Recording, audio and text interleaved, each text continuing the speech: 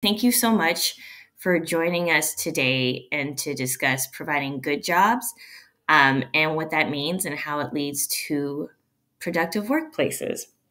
So, first, I want to say Prosperity Now, uh, Pacific Community Ventures, and families and worker funds have all come together to create an anchor partnership and collaborate on using and thinking of small businesses as a pathway and strategy to increase good job creation.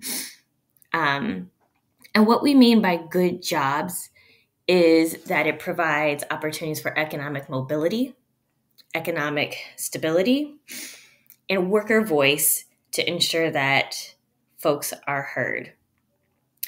And what we do at Prosperity Now is to support systems change and support racial equity and wealth development for communities that are in need. And so, with our aligned values, principles, specifically on this opportunity to, to create good and quality jobs, we want to empower small business owners economic development organizations, economic support organizations that provide um, either workforce development, TA, or any other type of service to contribute to this in a meaningful way through supporting the small business owners in your network um, and providing an opportunity for them to become leaders and to show themselves as leaders in their community by uh, creating opportunities to employ them, employ the folks in their communities, to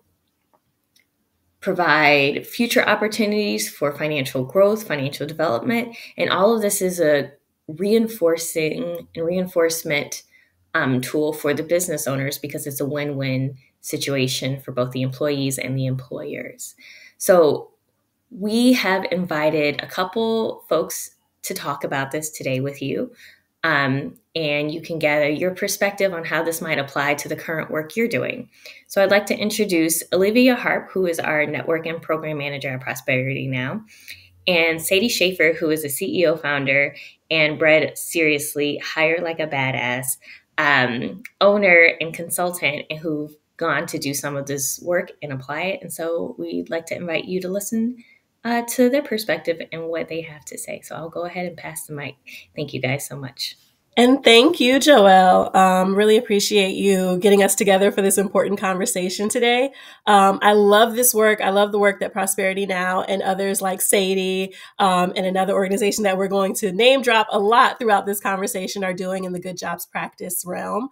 Um, so I am going to just slightly introduce myself and then I'll pass things over to Sadie. Um, Sadie and I are really familiar with each other. So this will be a really cool, calm, casual conversation, um, kind of like a luncheon chat. So feel free to settle in, get relaxed, um, interact with us in the comments, and uh, we hope that you get a lot out of today's discussion. So like Joelle said, my name is Olivia Harp, and I'm the program manager for network building at Prosperity Now.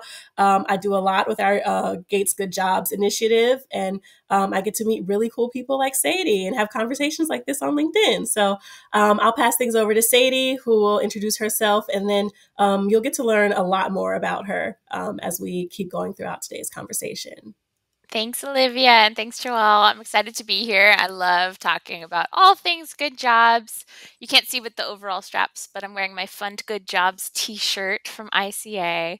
Um, so I thought I'd be on brand for today. So I'm Sadie mm-hmm. Scheffer. I am a two time CEO and founder. So, my first business started in 2011. It's called Bread Seriously. It's a gluten free sourdough bread company based in Oakland, and we have about 17 amazing employees.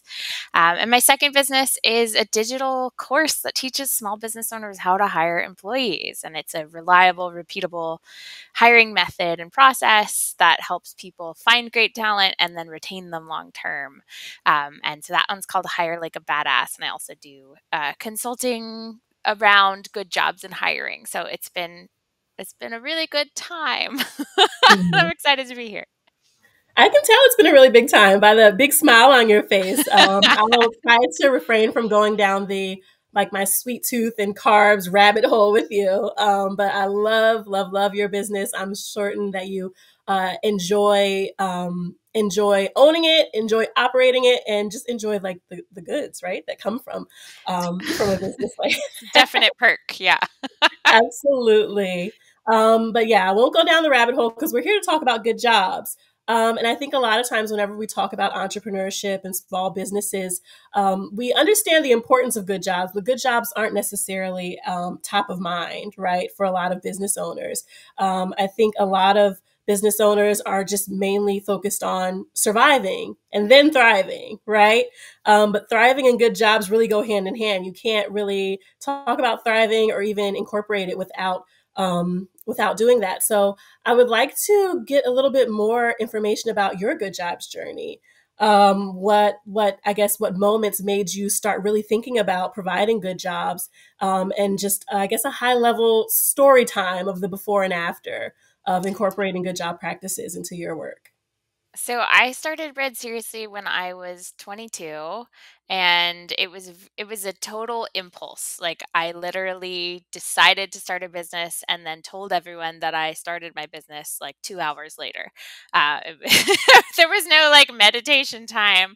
Um, my boyfriend at the time and now husband uh, literally like came home from work and was like i hear you're starting a business because i had emailed him with everybody yeah. else um, so that there was not like a big, a big picture at the beginning and i you know i think like a typical young entrepreneur i wanted to do everything myself i wanted to do all the baking and all the mm-hmm. business and then eventually i wanted to do all the baking and hire someone to run the business because i didn't know anything about business and um, so there was a lot of personal growth that had to happen before I started thinking about good jobs and and getting beyond that survival mode. Um, so it was actually about 2018. We so seven years into running the business, we had been working with a co-manufacturing company, which means we were outsourcing the production of our product to a third party, um, and then we stopped that at the end of 2017, brought production back in house, and so my team kind of exploded like almost literally overnight. Yeah. um, from like six people to 12 and then kept growing from there um, and so that's when i realized that like i didn't actually have the leadership and management toolkit that i thought i needed and in hindsight mm-hmm. that was very much true like and, and, it wasn't like an imposter syndrome thing like i don't know what yeah. i'm doing like I, I really didn't know what i was doing and i recognized that and then i hired someone to help me so i hired a leadership and management coach who taught me like the management 101 you know because i had sort of mm-hmm. figured it out but i also hired people who were really good at self-managing up until that point so that like they didn't need that much from me um and because I started this when I was so young, I had never really had a real job where I had a good manager. So I didn't have like a, someone to draw mm-hmm. lessons from. I'd had plenty of bad managers, so I knew sort of a, a basic list of what not to do. okay, but but I didn't have any like role models there. Mm-hmm. So that coaching planted the seed. It got me like the basics. You know, I, I learned like how to have a one on one check in and how to write a performance review and kind of some of the uh, table stakes of like traditional business uh, workplaces. Um, and that got me really interested in leadership and mm-hmm. so the next year, 2019, I stumbled upon Brene Brown Dare to Lead. And that was like, phew, that was the catalyst. So yeah. I just took off from there. I was so inspired. Um, and like my brain was just buzzing all the time thinking about leadership and communication skills and team building and company culture um, and so we did this like big company culture overhaul and um, got really intentional about how we talk to each other and how we communicate and how we work together and collaborate. Because um, we had had, you know, some pieces of good jobs. Like we yeah. already had benefits at that point, but we didn't have like the workplace ecosystem that tied it all together. So mm-hmm. there were mm-hmm. some of the elements, but not maybe the whole framework that made it a good jobs ecosystem. Um, and so 2019 was the start of that, and we've been working on it ever since. Okay, yeah, I really um, like we've chatted a little bit, but I, I really love hearing the entire story. Um, and it's kind of funny because when we, whenever we work with other um, small business owners and entrepreneurs at at Prosperity Now, a lot of them kind of explain their business growing as sort of like a family, right? Like you have this hope and dream, you made this, you've made this decision, but it's not until it expands, right? You talked about your team like doubling almost overnight. It's not until you expand that you're like, oh wow, like we actually might have to go to the drawing board. We might actually have to acquire some new skills. So I really appreciate you um, honing in on that, and also um, just kind of highlighting that this was seven years into the game, right? Um, and and we have to like not only normalize but embrace entrepreneurs as individuals that are kind of like flying this plane while you're building it at the same time. And so just to not be so hard on ourselves, right? When a new resource can enter at any given point in time, that doesn't mean that anything was wrong before then, but um, new skills are always introduced, new opportunities are always introduced into the equation. Um, and so I think it's important that um, you know we're we're building a machine and operating it at the same exact time, right? Absolutely. And I mean, there's no way to learn all this stuff without getting your hands dirty. Like, I Mhm. remember I took like um intro to business class for women uh, back in 2012 when I was like, this is actually turning into a real thing, and I should Yeah. probably learn how to run a business. Um, and one of our homework assignments was to sit down and write down all of the problems that we think might come up. And I remember struggling with the Mhm. exercise, and then a few years in, when just like the most random problems come up, I was Mhm. reflecting on it and thinking, there is no way I could have predicted any of this. like, I understand like the basics of the exercise, but so much comes up, so many fires get lit, and so many weird opportunities you would never think of happen, and weird issues and equipment failures and employee relations issues. It's Mhm. all going to happen in real time, and you're going to learn by doing. so, yeah, we have to be really gentle on ourselves. Absolutely. And I'm glad that you brought up like um I'm glad that you brought up like the challenges, hindrances, um, barriers, things of that nature, because um, as we're doing different landscape analyses across the field, across this work, um, we're hearing this term a lot, right? Like pain points.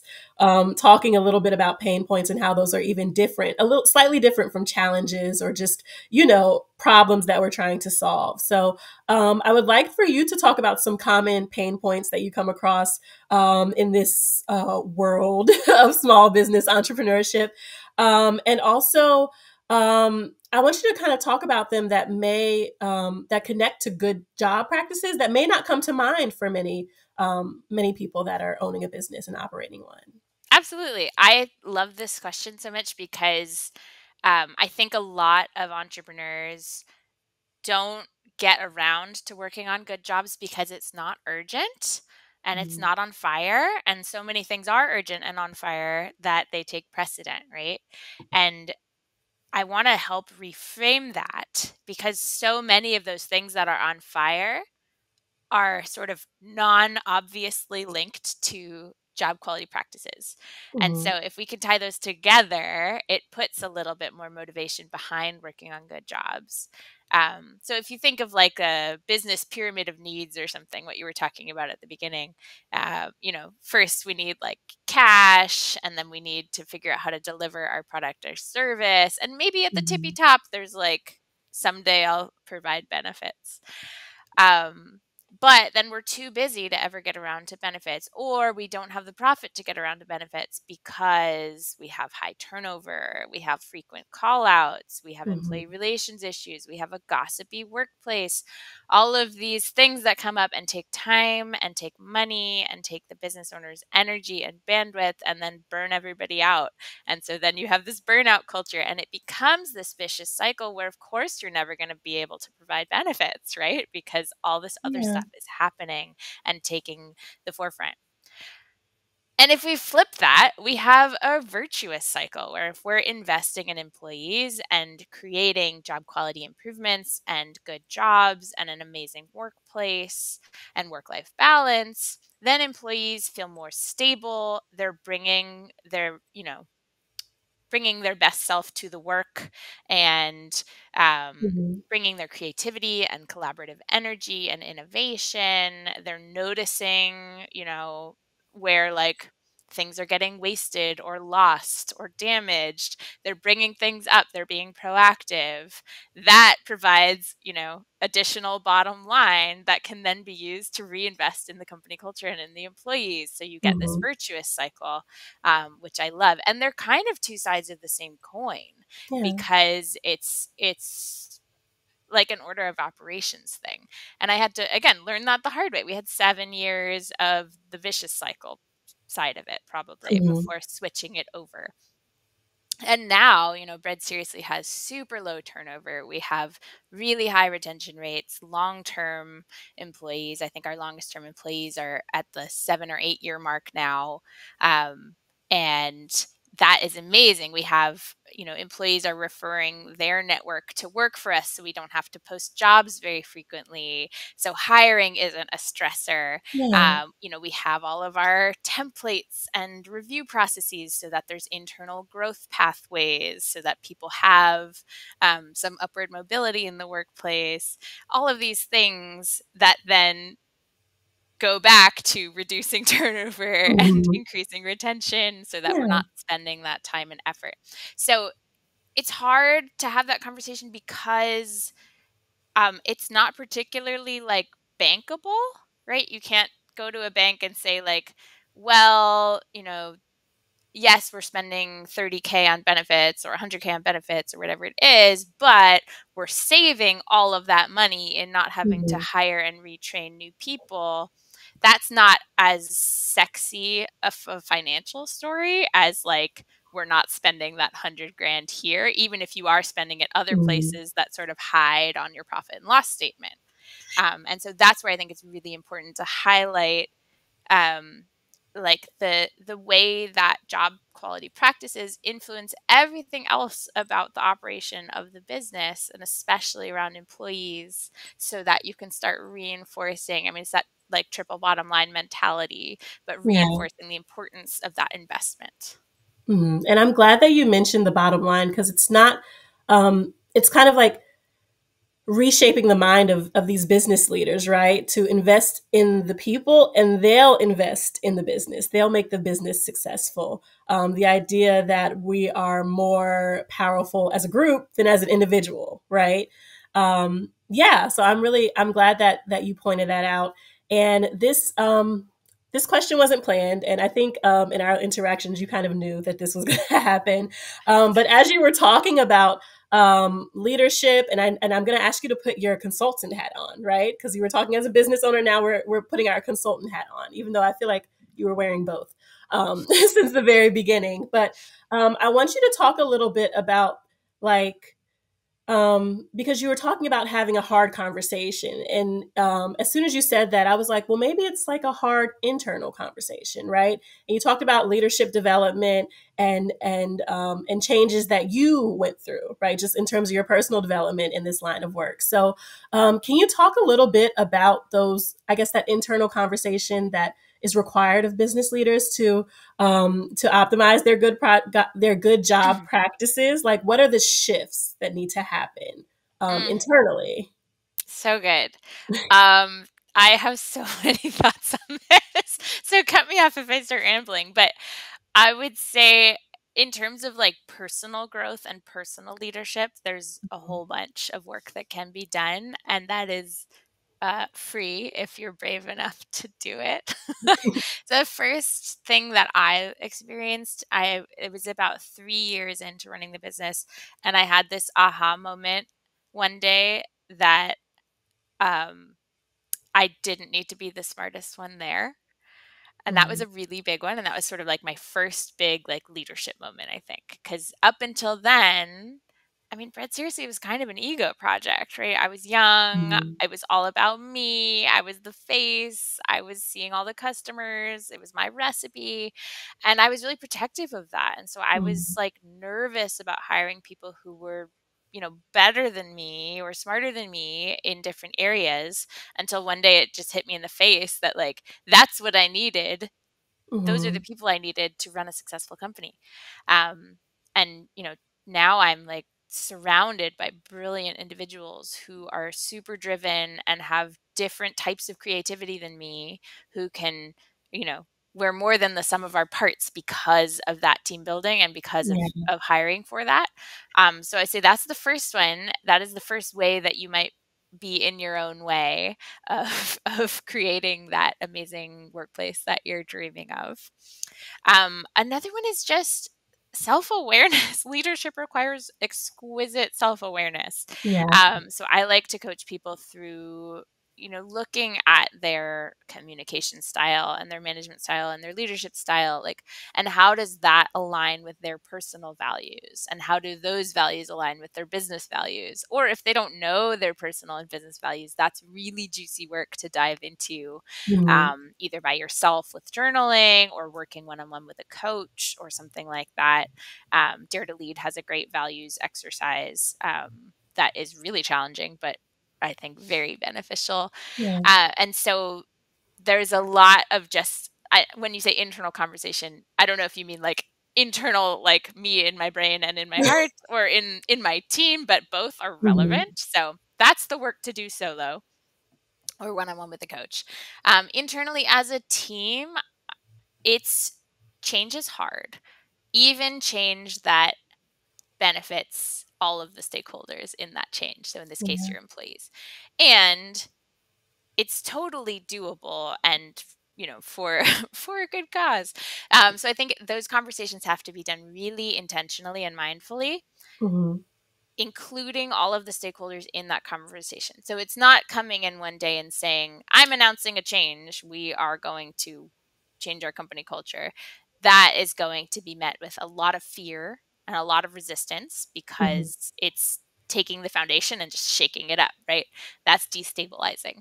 But coming in with a mindset of building together and building collaboratively and and an invitation i think that's such an important word is is in that invitation inviting people into that process of co-creating and co-designing for cultural change because mm-hmm. that is something that's really enticing to buy into from an employee standpoint because it is going to improve their stress levels, their work life balance, their access to benefits, their ability to have a seat at the table, their ability to affect change in the workplace, their ability to take on decision making power um, mm-hmm. or other types of responsibility and ownership of their work.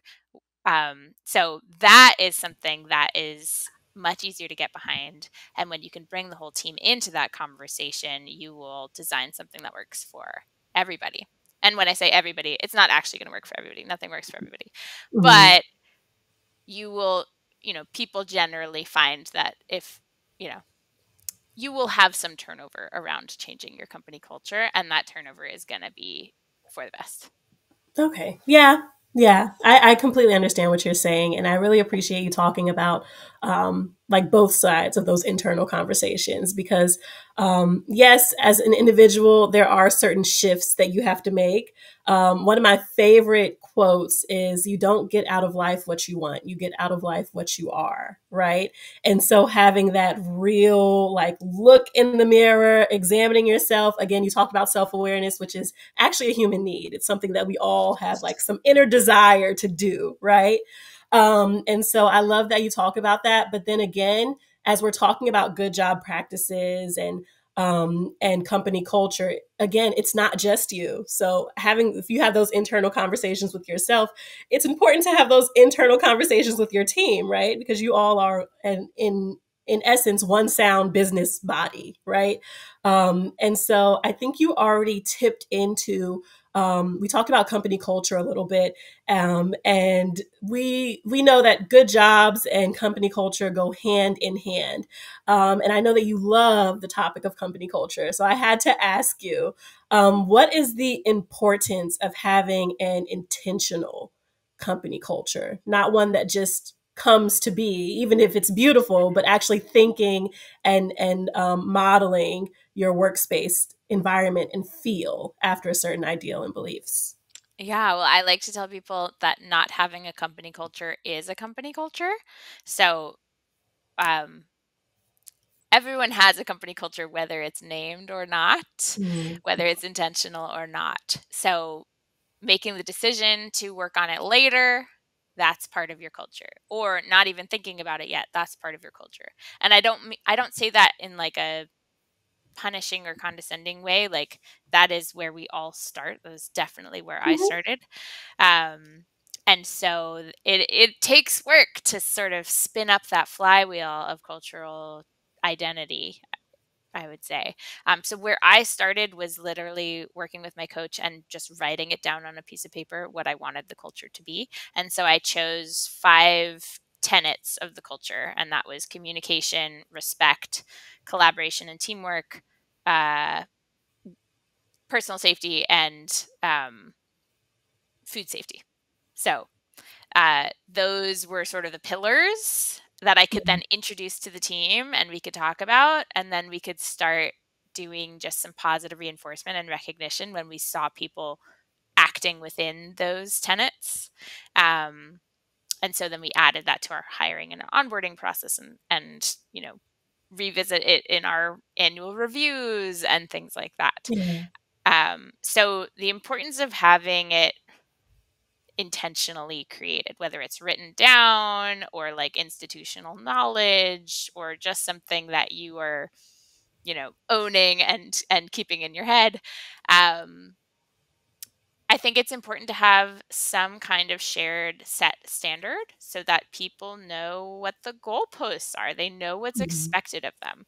I talk a lot about setting clear expectations um, in my consulting work and you know on podcasts and things like that.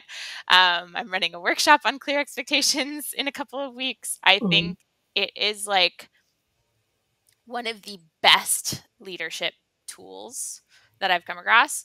Um, because it defines success and it is a calibration tool to get everybody on that same page. When you know what's expected of you, you can succeed. When you don't know what's expected of you, you can accidentally succeed. Yeah. But that's not a comfortable place for anyone to be. Mm. Um, and so when when you don't know what's expected of you behaviorally, right? It's it's really icky. I don't know quite the right word for it, but Absolutely, like, yeah. you don't know, you know, when you're gonna be reprimanded or punished or just shunned out of the in group or anything like that.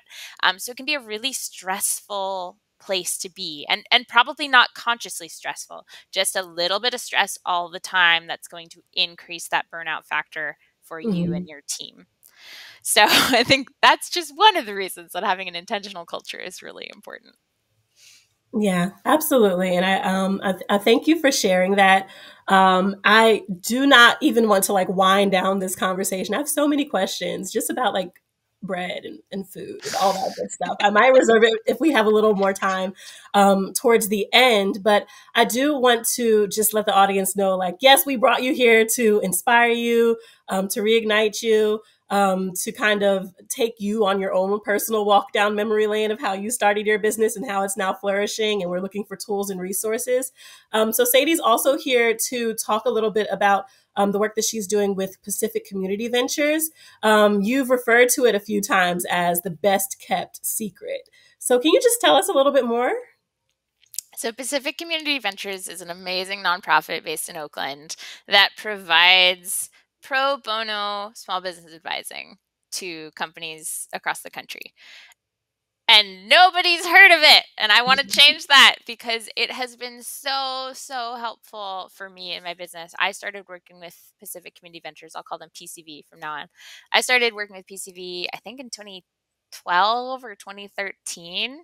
Um, and I've worked with about 15 pro bono advisors over the mm. last you know decade plus um, and on any topic that i needed help with at the time. So my first advisor through them was uh, well i signed up for like a sales and marketing advisor but mm-hmm. turned out what i actually needed was just like a general business advisor and i was matched up with someone who was amazing. I worked with her one-on-one for over a year and she just helped me get my um, you know kind of the business back end set up and my structures and my communication. She helped me you know make my first hire um, you know, learned how to write a job description, kind of all these basic fundamental things that I didn't know because I didn't have a role model for that. Mm-hmm.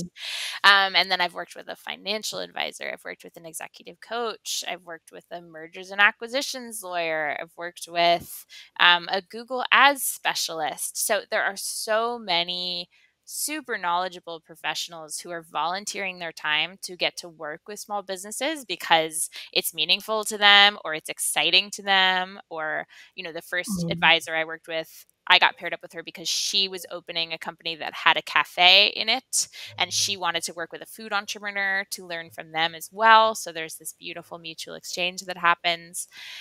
And, you know, there are hundreds of people using this service and there should be thousands and tens of thousands mm-hmm. because mm-hmm. it is free and it is meaningfully helpful. so I've loved working with them and I tell everybody I can about this program. And there's a new program that they're offering that I've been helping them develop, which is called Good Jobs Advising. And so it's specifically working with advisors who have eh, not only experience working with culture building, hiring, HR, departments like that, but also who have some training from PCV about their good jobs tools and how to work with an entrepreneur to help them build their good jobs journey. So it's a really great time to be looking at good jobs because you can get help. There are amazing resources available from the PCV's Good Jobs Toolkit, which is like an mm-hmm. encyclopedia of anything you'd ever need to know about benefits, employee engagement, hiring practices to the advising program. And then we also have a program called the community, the Good Jobs Community of Practice. Um, and we are taking applications right now. So this is a 15 month cohort where you will actually get paid by PCV to work on good jobs improvements. So there is a program stipend of $1,650 plus there will be some surveys for you to complete. and You get additional funds for completing the surveys. And then you're put into these cohorts where you'll get to build your good jobs network of entrepreneurs. So you'll get to interact with people from different industries and from across the country who are in a similar place as you with wanting to create good jobs improvements. You'll get to learn from each other. You'll get to work with me as the facilitator of those cohorts and with the PCV team um, to work on a good jobs improvement in your workplace and get paid while doing it. So it's a fabulous opportunity. It's a pretty low time commitment. It's a 15 month program, but it has just three meetings over those 15 months. So most of the time is for you to implement those good jobs improvements. Um, and it's really fun. it's been really amazing to work with all of the all of the business owners so far. So I would love to see some folks from this call um, apply to the program. Absolutely. And if you are interested, we will be sending out a mailing to anyone that is registered for this event or um, attended and tuned into the conversation. Um, you could also reach out to us. We have our information and contact information on the next slide. Um, should you want to keep in touch and and find us on the inters of nets um, and figure out how to get connected. And I will kind of thank you so much, Sadie. I really enjoyed this conversation. Um, I wish it could have been longer. Like I have so many additional questions that we didn't even like, you know, draft up together, but that's okay. I'm sure that we'll be in conversation in the future. Um, and I'm sure that we'll work together to collaborate on this amazing work and this really cool opportunities. Um, so with that being said, I'm actually going to um, turn things over to Joelle to close us out. But um, thank you so much. And you will be getting some information on how to join. And um, we do have a co- like a point of contact that you can reach out to as well. Um, that's probably super important. Um, it's displaying now on the screen. So you can either scan the QR code or just um, reach out to Beverly Z over at PCV um, to get involved in this. But thank you so much for joining us, and we hope to interact with you soon and collaborate with you soon. And um, again, thank you so much, Sadie, for joining us for this conversation. Thanks, really- Olivia. This was really juicy. I loved it. great. Okay, everyone. Have a great rest of the day, and we'll talk soon. All right. Just thank you again for everybody who attended there are plenty of opportunities to get involved and share the resources that we're creating through this initiative. And we hope that not only will you be a recipient of some of the tools and resources, that you get engaged and promote this opportunity as well.